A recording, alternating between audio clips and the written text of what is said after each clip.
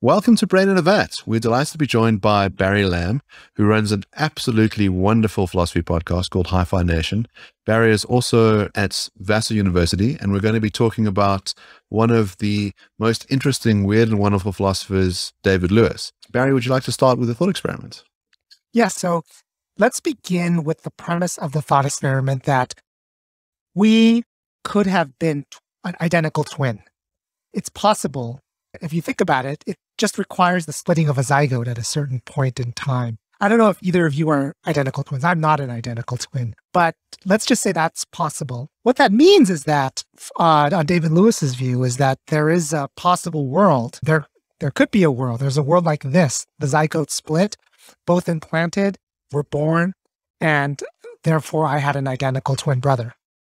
The interesting question is there are many possible worlds where that happens. There could be a possible world where I'm an identical twin and I don't start a podcast, but my identical twin brother does.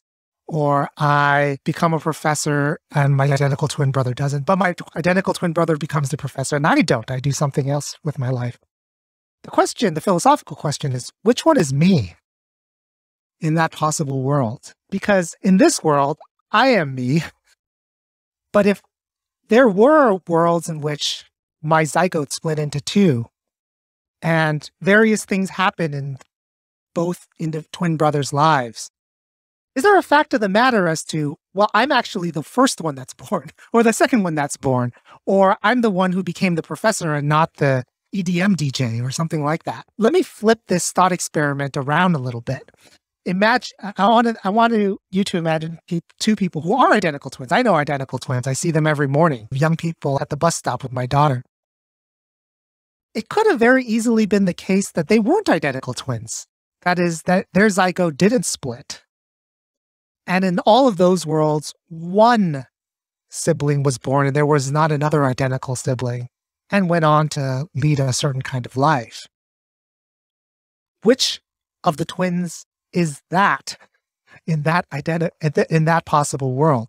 That's the question. That's the question um, that's raised by this thought experiment. And I'm not going to answer the question because I just raised it. But but that's the beginning of starting to think about what possible worlds are and what possibilities are. That's very interesting because it sends me off in the direction of, in my head, of what personal identity is. So one of one of the questions you might ask is personal identity always a one-to-one relation? So is it the case that because there's one of me in one possible world, that there must only be one of me in another possible world? Can't it be the case that there's one of me in one possible world, but two of me in another possible world? And why can't that be the answer? So in other words, I'm denying the question. The question you're asking is, which one is me? And I'm saying, why not both? No, that's absolutely right. David Lewis thought that thinking about philosophical questions through possible worlds is a way of coming to an answer about the question in our world. So the question about personal identity in our world could very well be the same kind of question. Whereas instead of asking about the possibility of having a twin, we would say things like, what if you were transported and split up or, or so forth. But all of that happens within the same world. And you could answer the question the same way you did in our world. Maybe one can be two and two can be one here. And that leads to various paradoxes. Thinking about it in terms of other possible worlds makes you think about whether it's even possible to have a twin. That that's a presumption that you can challenge as well. You might think that if you don't have a twin, it's necessarily true that you don't have a twin, precisely because you don't want to answer the question, one can be two in this other possible world. And similarly, you might answer the question this other way. If you are a twin, then it's necessarily true that you're a twin. You have to be a twin in all possible worlds. In any world in which there's only one zygotic survivor, then you don't have you or your twin. It's not identical to either. So these are the other possibilities. Rather than denying the question that you have to be one, you can deny that it's even possible that if you're a twin, then you're not a twin, or if you're not a twin, um, that you can be. So there's a sense in which when we talk about possible world, we could be using it as a heuristic device to try and solve other problems. So we can say, imagine that you made a different kind of choice and follow that counterpart version of you into this imaginary world. Uh, and that can be a useful way to solve these philosophical problems, like you say, personal identity, what would make you persist over time. But David Lewis has this completely radical idea, which is to say, if you can imagine it, it does actually have some kind of foundation in reality. That idea is something incredible, right? That it's not just this device that we can use to solve philosophical problems, but in the imagining, it almost pops into existence. What's the sort of view on his modal realism? How seriously do other people take it? I don't think a lot of people take it all that seriously. It depends on what you mean by taking it seriously. Everything David Lewis says people take seriously in the way that they feel they must respond. It's not something that you can just let pass and laugh off. And there are philosophers where that happens. People work very hard on issues, people read and think, that this is ridiculous. And they never get any traction in the community of inquirers, no papers responding to them. They don't get taught in seminars. But that's not true with David Lewis. People think it it's very serious. Um, they take him very seriously. Now, are there other believers in the uh, modal realism or the existence of other possible worlds? That I couldn't tell you with complete reliability because some people think that the physics community has come around to that, but it's arguable whether or not the conception of a world in quantum physics is the same conception of a world that David Lewis had. Um, the one thing I, I want to say before we e- even get to the existence of um, possible worlds or how many other people believe in it is that one of the things that David Lewis's view has going for it is he thinks that you can't just decide what a possible world is or what's true in a possible world. This example that I've been given, this thought experiment, is a small little example of that.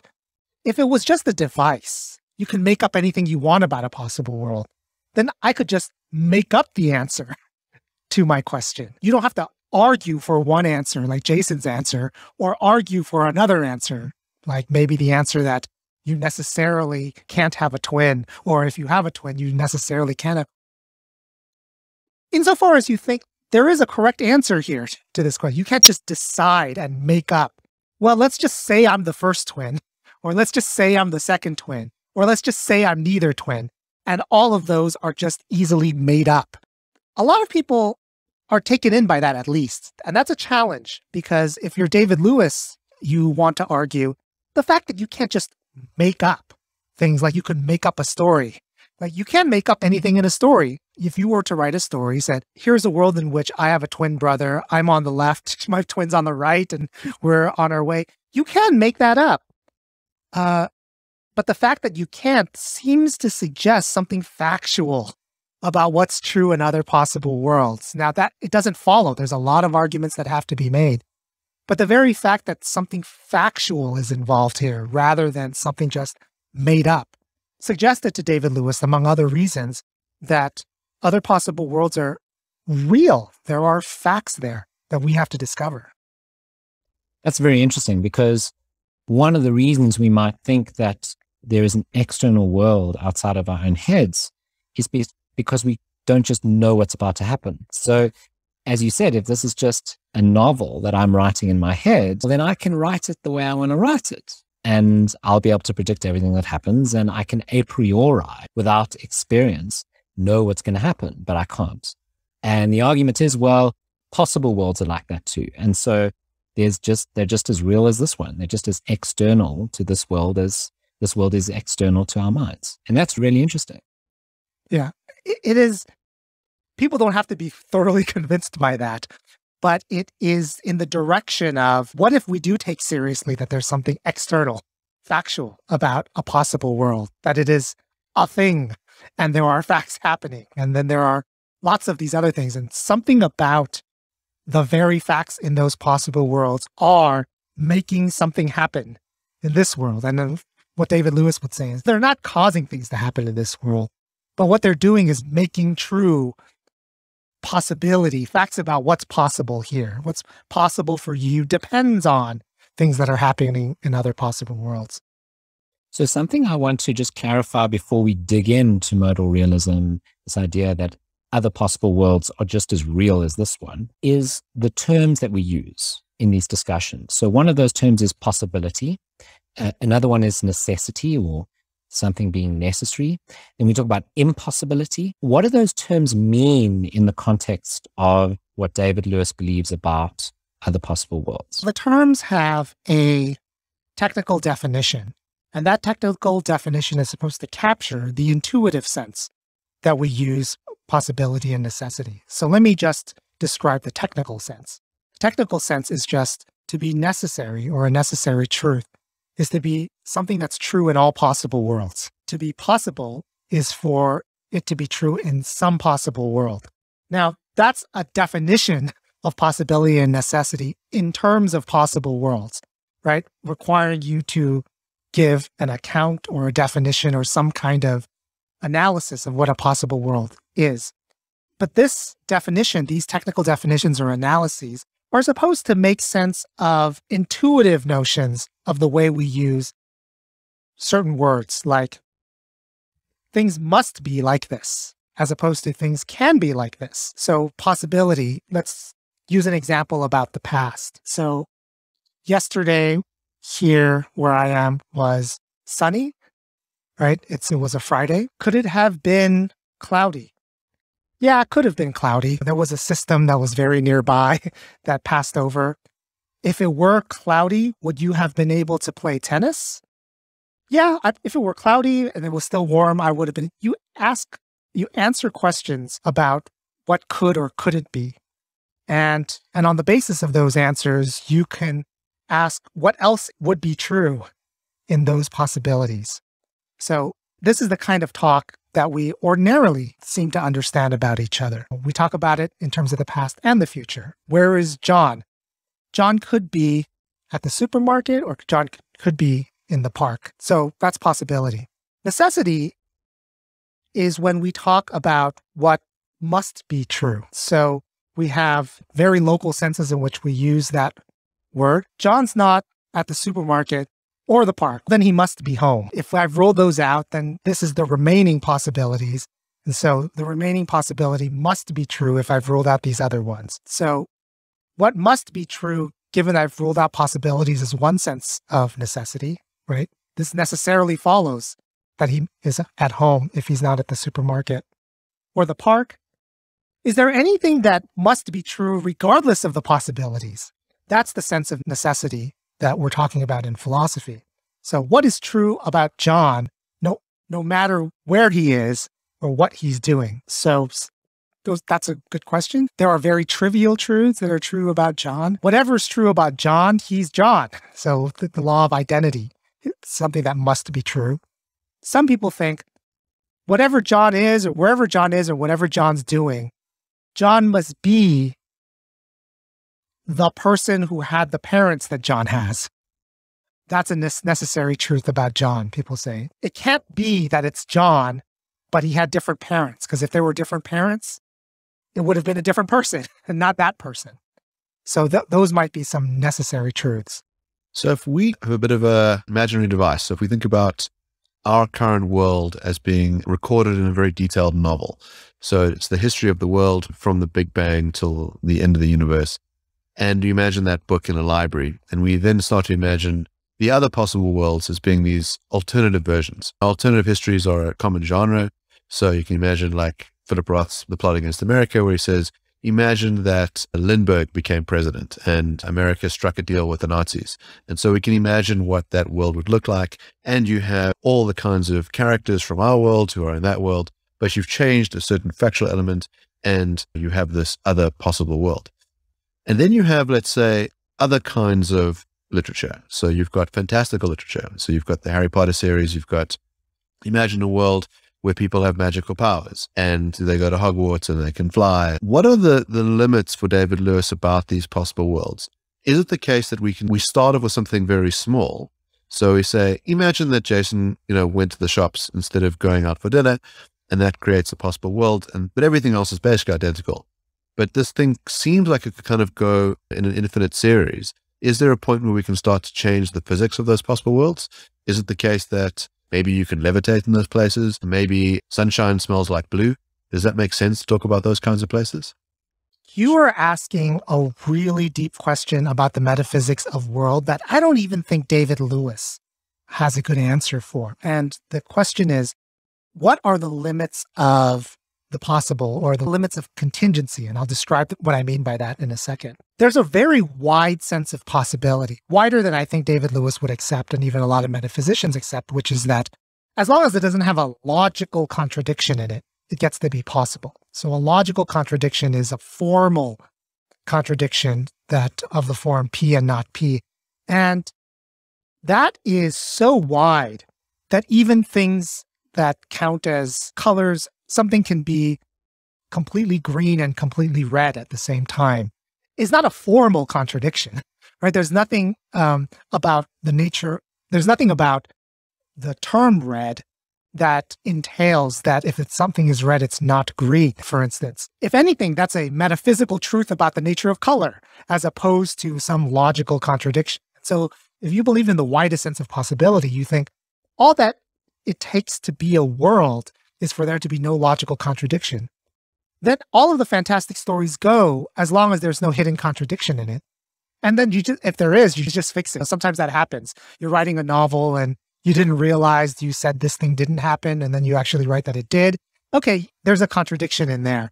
And if you don't make sense of that, then you know that world can't exist. If you think I'm writing a novel in which there are green creatures that are also red creatures and they're tall and also short at the same time and they're both human and not and uh, donkeys, right? Those aren't formal contradictions. They might be metaphysically exclusive of each other. We don't think that you can simultaneously be a human and a donkey at the same time.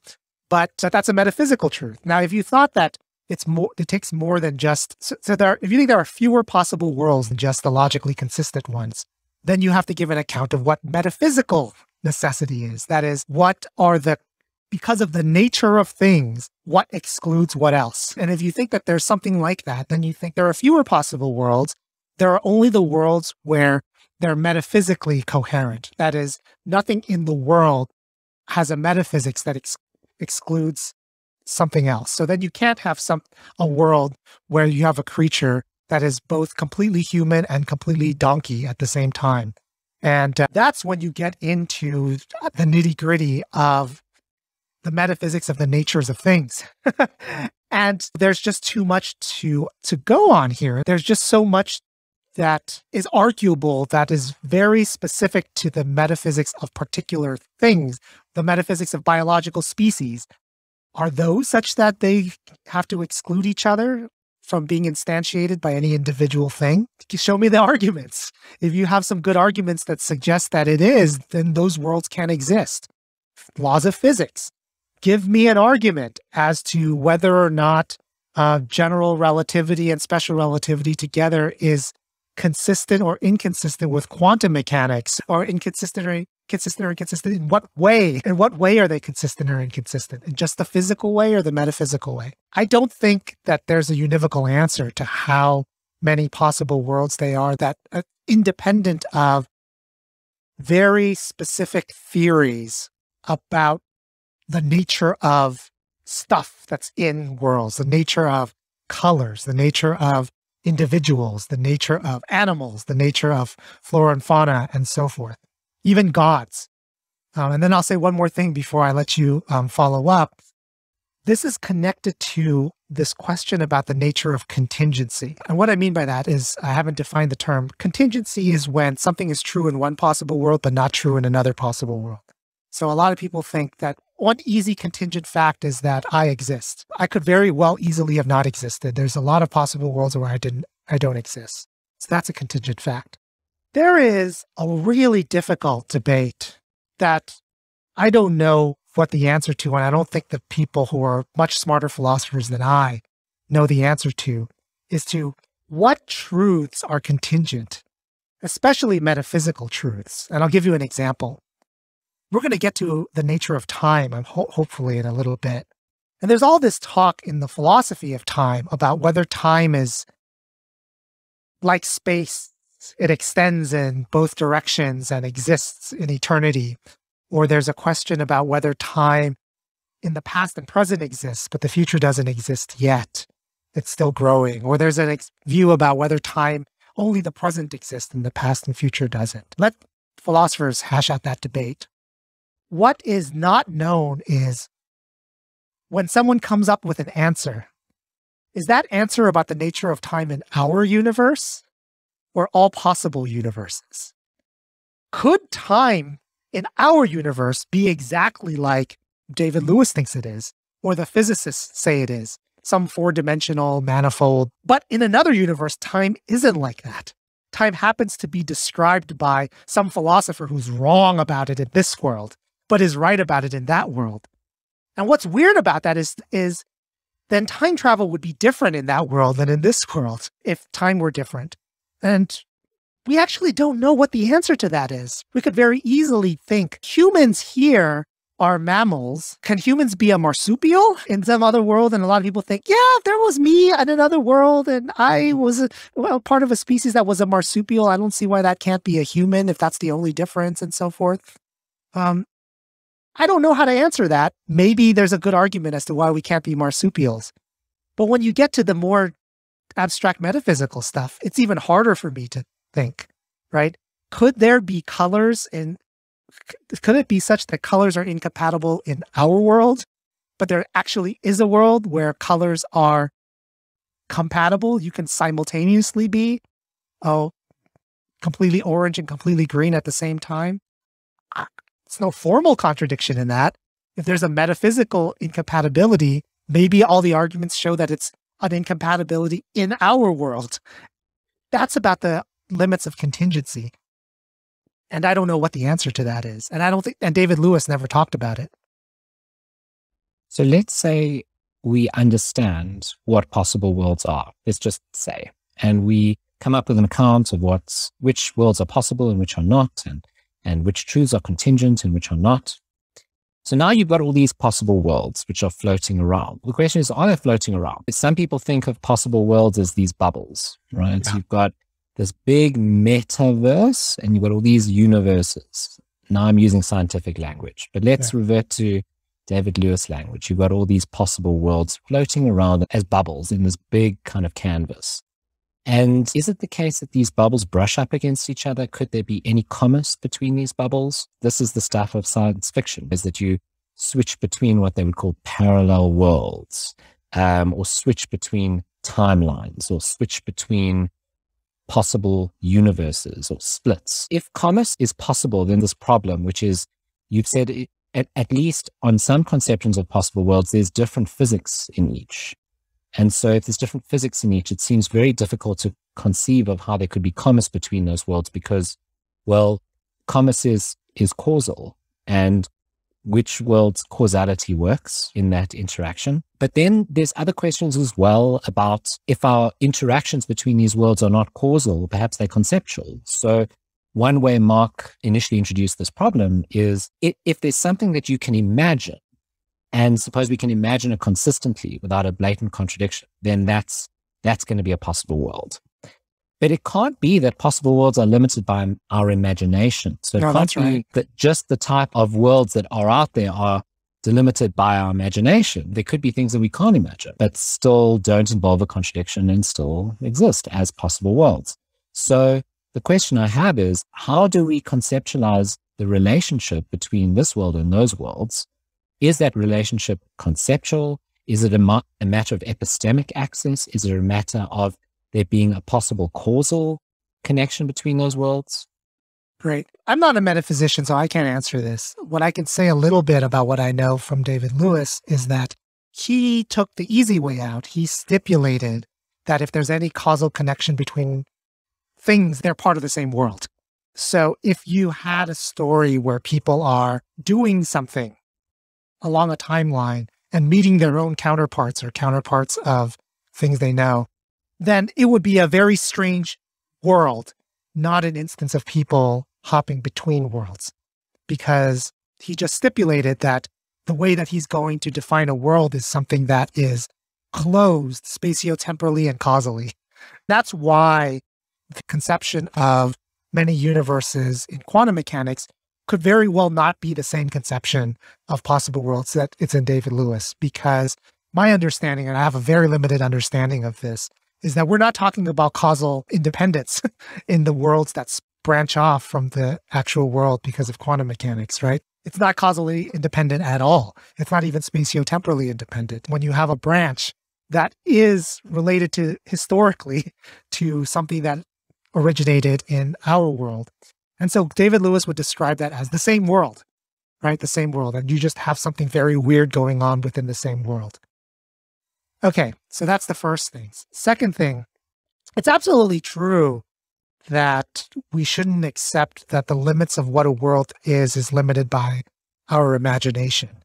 The people who are most sanguine or most optimistic about the relationship between the human mind and possible worlds say that imaginability and conceivability is some guide, but it's not a perfectly reliable guide. But they are probably also people who aren't realists about possible worlds. They don't think that they're real things. If you think that possible worlds are in some sense just stories or fictions or things like that, then of course there's going to be a connection between the conceptual and the imaginative and a possible world. To be a possible world is just to be the kind of thing that a clear-headed thinker is hypothesizing and stipulating and writing about and so forth if you're a realist about it, that better not be the case. And I don't think that is the case. But speaking as a just not a not even a metaphysician and not even a Lewis scholar, but somebody who has taken some courses and, and did a biography of David Lewis, I think that's those are the right ways to say that he thought about these questions.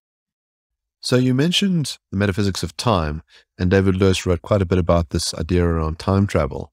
And he has this notion that you have to be logically consistent. So it is the case right now that I can sneak up behind my grandfather and I can put a bullet in his head.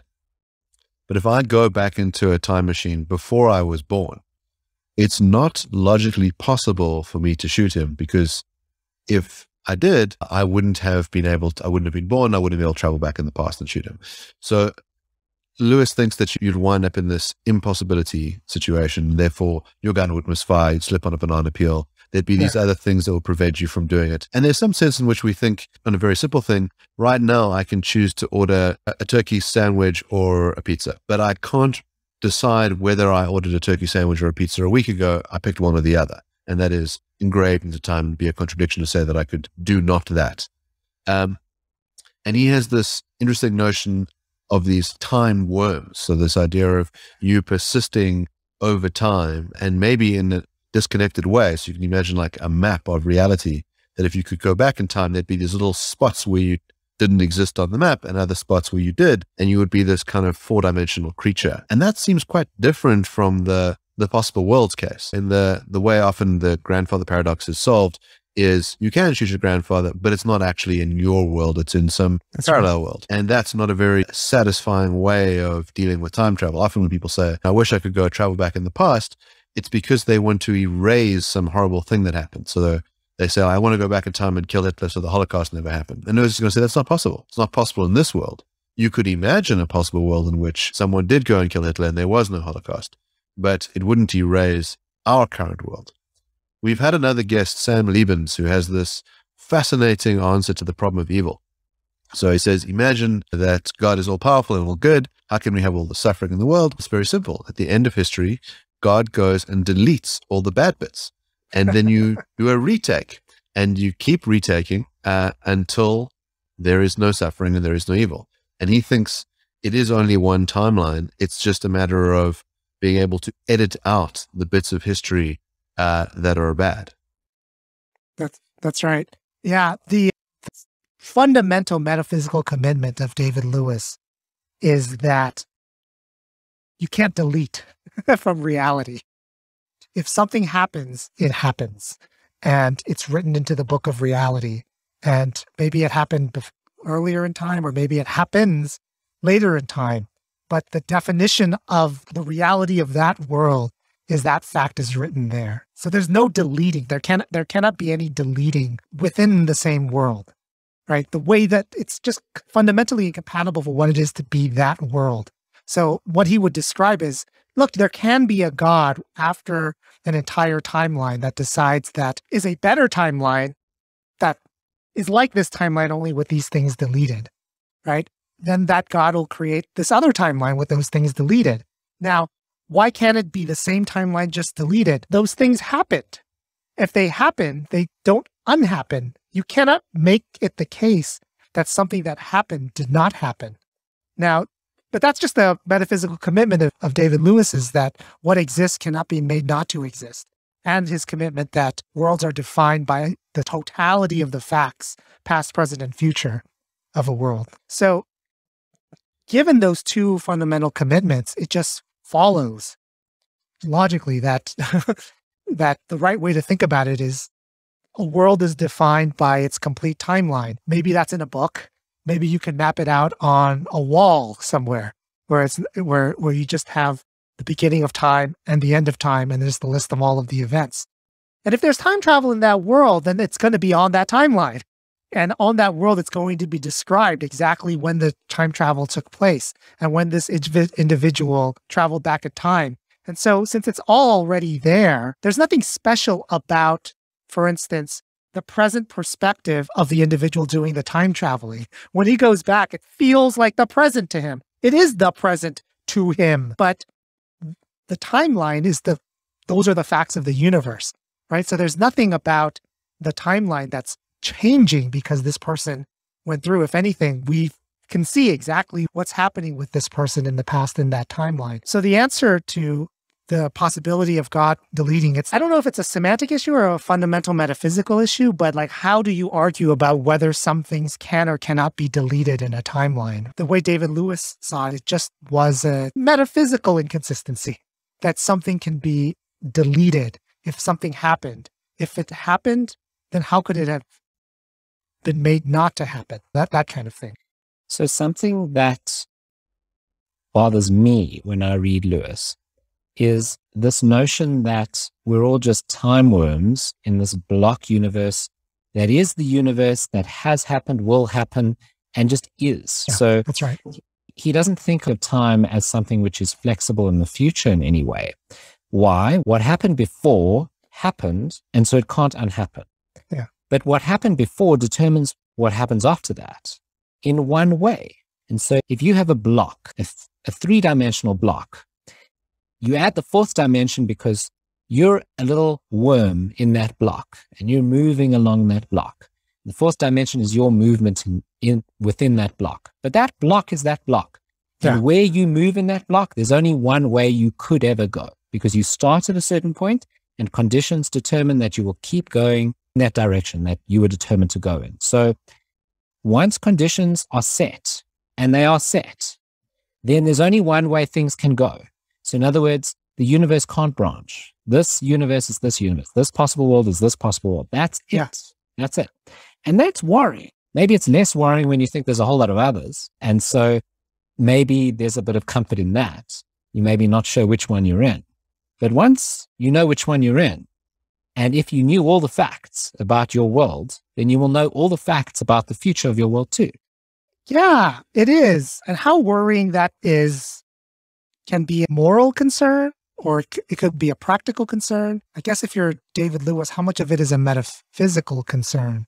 Don't particularly like that view. I was told, by the way, just to clarify, I was told that in some ways David Lewis's view is not as bad as determinism, but also in some ways worse than determinism, right? So the, this is the way it's not as bad. There could very well be free choice of individuals conceived of as little gods in, in, in our universe. Let's say, and that's consistent with what Lewis says about this. So let's say that actually what causes all of your decisions isn't something that's fundamentally physical as you go through time.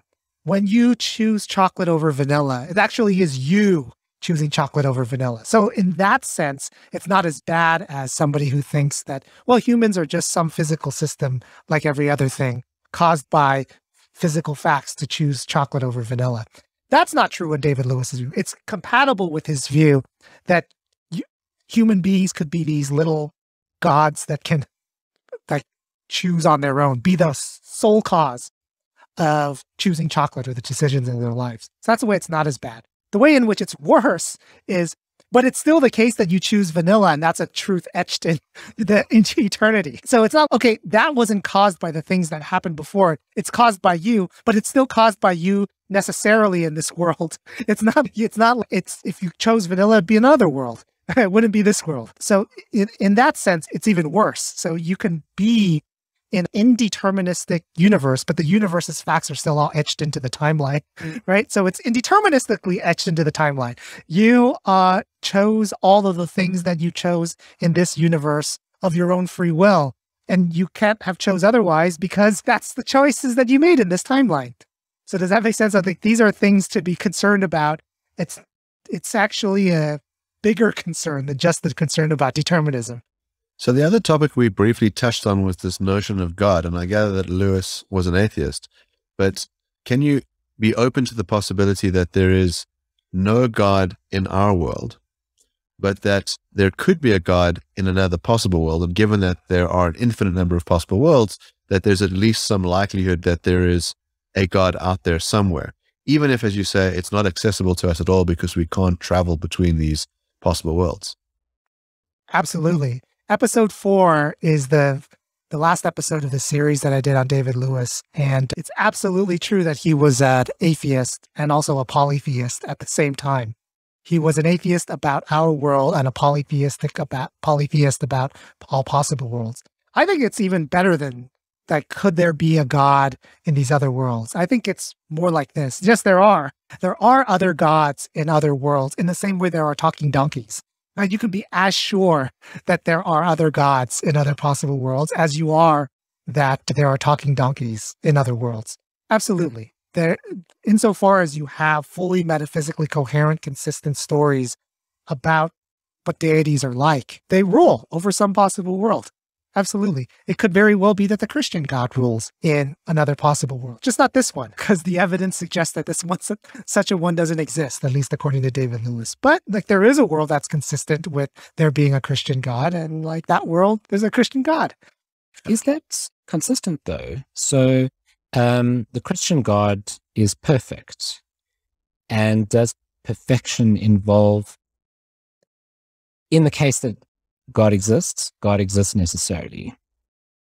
And that means he would be in all possible worlds. That's a good question. And that's a question for Lewis and the theists to exchange theological conceptions of whether or not a God that's perfect enough to rule just one world or a family of them can still count as the Christian God, or if there has to be a single deity in all possible worlds. I suspect the answer for Lewis is that if there has to be a deity that's in all possible worlds and there is no such deity, I suspect that's the answer. What gets to count as a deity may not be, I, I don't know what conception of necessity needs to be in play for theological disputes about the nature of God are ongoing, right? So it's like, what conception of unity can be is in play when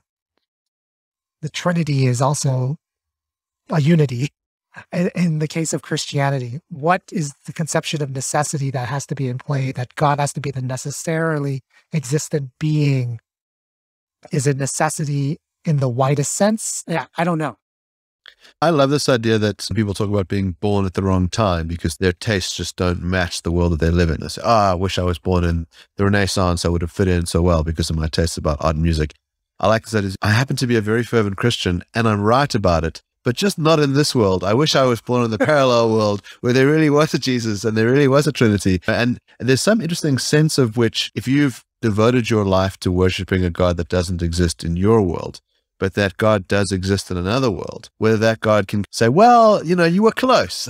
it's not your fault. You weren't born in my world. Maybe you should be pardoned. Or whether it's tough luck, son. You know, you worship Buddha in our world, and actually it was Vishnu that was ruling, and uh, you got it wrong. Should have been in the other world. Yeah. Yeah. In fact, a lot of people in the metaphysical literature since Lewis have thought about the existence of many times in our world and the existence of many worlds in, as parallel. They think that's actually a good way to think about it. That a good way to think about you in other worlds is to think of you in other times. A good way to think about I was born in the wrong time and I was born in the wrong world should be thought of in parallel. I don't know what to think about it being not being a metaphysician, but it's a it's one way people have decided that's the right way to think about worlds. Something we do a lot of on this show is thought experiments because mm-hmm. we start every episode with a thought experiment. And as you pointed out earlier, David Lewis is the philosopher for, for thought experiments. His whole career uh, was about these fantastical thought experiments. What do you think drove him in that way? Because I think, especially nowadays, thought experiments are almost a dying art amongst philosophers. A lot of philosophers regard thought experiments with skeptical distance and are worried about the uh, usefulness of thought experiments. Clearly, Lewis thought they were useful. Number one, as a biographical fact, Lewis had always been a big fan of science fiction and thought that metaphysics was a way science fiction was a way into metaphysics. Metaphysics was a way into science fiction. They, they, they went hand in hand. So there is a philosophical picture that Lewis rejected that would make easy sense of that, which is thought experiments, philosophy, metaphysics are about human concepts and about human conceptualization and con- conceivability and so forth. And if you thought those two went together, that would make a lot of sense. He would say, we do thought experiments because it's about our thought. It's all about our thought the nature of time is not the nature of real time it's the nature of our thought about time. And and and the identity is about our thinking about identity. Now that's actually a picture lewis rejects. Lewis does not think that philosophizing about the nature of identity or the nature of time or the nature of possible worlds was about theorizing about your head or your concepts. That at the same time opens up the kind of skepticism that you mentioned about thought experiments, but also opens up the very real possibility that the answers that you give to particular thought experiments that are touching reality, touching the nature of reality. So, no, this might be a at the end of the day an unsatisfying answer, but the way Lewis thought about the role of the thought experiment in philosophy was the way he thought about a lot of things in philosophy. Is Nothing is decisive if there were a thought experiment, it ought to be taken seriously. And particular intuitions or judgments about it ought to be taken seriously. But it doesn't mean that what they were are decisive. If you came up with one verdict, it means that this view is true, and you've come out with another verdict, it means the view is false. What it all means is that you tick a box in favor of a theory if it gets the intuition right about the thought experiment, or you tick a box against the theory if it doesn't get it right in the thought experiment. Now, if you're a skeptic about the use of thought experiments, then there is a small tick against you because a thought experiment is very much human experience that people think about and have judgments about. And if you're going to dismiss them wholesale, that is a tick against you. But maybe you have a lot of other ticks in your favor. Instead of thinking that these are all decisive, the way Lewis thought about it, you just present all of the views completely next to each other. Here is a complete view about the rejection of thought experiments, with some ticks in their favor and some ticks against them. Here is my modal realism in all of its glory, and the thought experiments that are ticked in their favor and the thought experiments that are ticked against it. And here is a view about reality that's different and not skeptical, but still uses some thought experiments. And let's judge each of these next to each other in all holistically is the right the right way to put it. And so I think the right way to describe his view about thought experiments is that if you had a view that rejected them, I'm not going to reject your view. I just want to see what else it comes with because it's got some things against it people do genuinely think about these things and come up with certain judgments about them. So one of the things that's I found really enjoyable about the miniseries you did on David Lewis on Hi-Phi part of it is talking to all these people that knew him, including his wife, and looking at his various contributions and what he was like as a person. He seems like an incredible character, right? Just a very strange, interesting, wonderful, weird guy. And one of the questions that you ask people is what his lasting impact was on philosophy. And one of these things is about a method of comparing different views, which is really a kind of bullet biting exercise, right? So you look at these two different views and you go, which one is going to break my teeth less? Uh, and we're going to try and evaluate that. And it's not just a simple matter of going, well, this thing you have to bite nine bullets and this one it's only seven. So you pick the seven. There's going to be a kind of coherent, thing. how destructive is that to the rest of my framework that I have? What other adjustments am I going to have to make? How strong are these intuitions on these things? But that methodology is a really useful thing in philosophy generally, right? When we're trying to believe things that are true and believe things that are coherent, being able to do that kind of reflective equilibrium between positions seems absolutely vital. Depends on who you talk to. There's a way of thinking about the way that you've described it sounds, of course, it's vital. Of course, it's reasonable. Of course, if you were reasonable, this is what you do. There are people who I spoke to who I don't have on tape who think that is one of the most, it is the most objectionable thing that Lewis introduced into philosophy because I'll paraphrase because I'm not even telling you who this person is, right? So um, I'll paraphrase. Philosophy is not fucking accounting.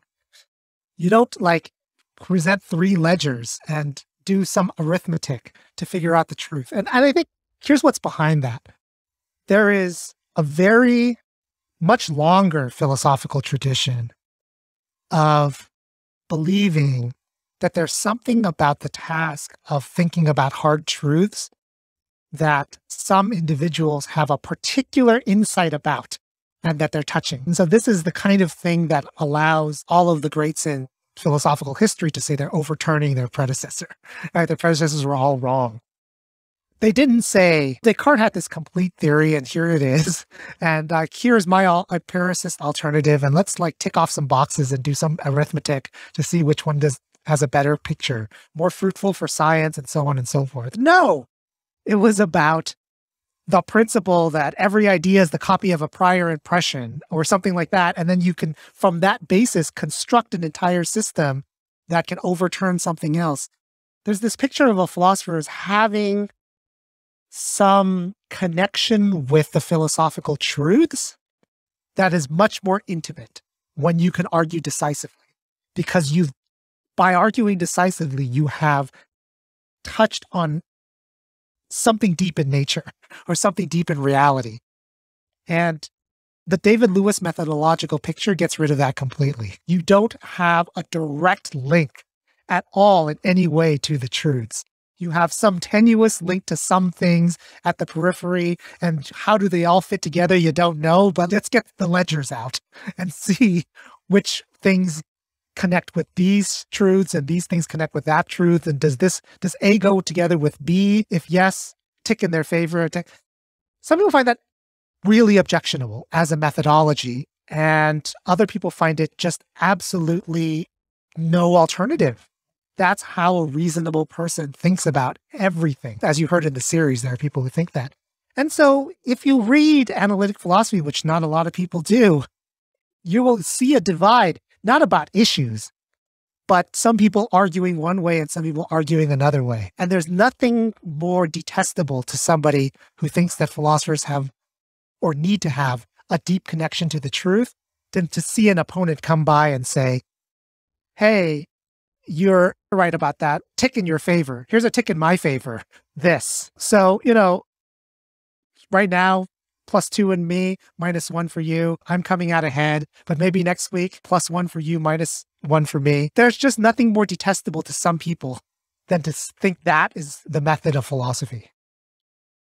Right. I, I for one, am very glad for the David Lewises of the world, um, even if it was necessarily the case that there was only that David Lewis in our world because I'm a science fiction writer and I've explored a lot of my philosophy through science fiction and gotten philosophical ideas through the science fiction as well. And I, I, I can't imagine that there is no value in exploring another possible world to enlighten us about this one, at least conceptually exploring it. It seems very helpful. I think you're right. I think you're absolutely right. What is interesting is thinking about that if Lewis's views aren't believed by other metaphysicians, they certainly explored very richly in literature. If you think about a show like Rick and Morty, it plays with this idea of saying we can't really have time travel in the way that it's often depicted in, in other kinds of cinema, but we can definitely have these parallel worlds. Although I think there the idea is that there can be commerce between them. But there's something, if you think about other ways in which time travel are, are, are, done, there's those that have tried to try and make it philosophically consistent and have tried to piece together worlds that aren't just entertaining, but are, but are logical and let us explore these ideas through compelling fiction. And I think there's something amazing about Lewis's work in granting us that legacy. Yeah. And it's overstated. I think some of my colleagues are calling me out on it that people don't believe anything David Lewis wrote. That's actually not true. Not a lot of people are modal realists. Let's put that aside. But, and that played a very important role for Lewis, what modal realism was, and that it tied everything together for him.